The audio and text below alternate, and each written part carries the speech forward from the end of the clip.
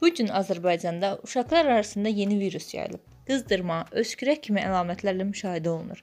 Məsələ ilə bağlı trendə açıqlama verən Səhiyyə Nazirliyinin mütəxəssis eksperti, pediatr Əkbər Quliyev bildirib ki, son zamanlarda uşaqlar arasında adenovirus yoluxmalarına rast gəlinir. Onun sözlərinə görə, bu üst tənəffüs yolunu tutan virusdur. Virus yüksək temperatur, əvvəl quru, daha sonra isə bəlğəmli öskürəklə müşahidə olunur. 5-6 gündən sonra əlamətlər yavaş-yavaş azalır deyə Quliyev bildirib. Uşaqlar bir-biri ilə yaxın təmasda olanda virusu hava damcı yolu ilə ötürə bilərlər. Bəzi hallarda gözlərdə konjunktiv, mədə bağırsaqda narahatlıq da müşahidə olunur. Virusun müalicəsi simptomatikdir, deyə o əlavə edib.